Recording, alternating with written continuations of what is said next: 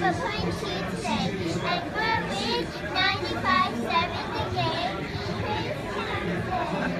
We have questions for you today. So, uh,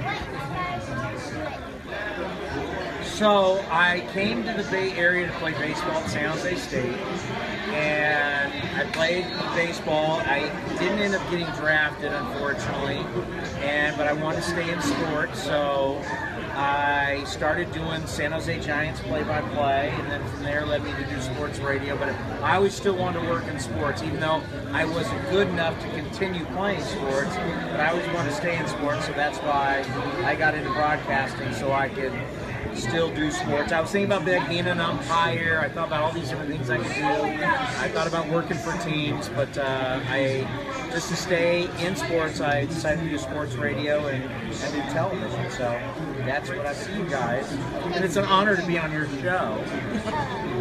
So, what would you say to children like us who want to be successful in dreams and life itself? I would tell you this is the number one thing I say to everybody. Go, first of all, education is the number one thing, right? School. Be good in school, and when you go to college, don't forget this get a business degree.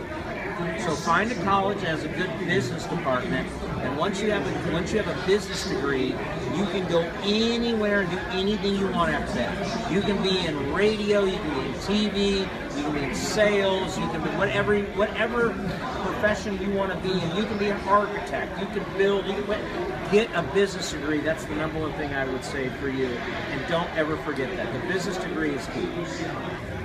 Thank you for your time. Gamers, dabbing Out.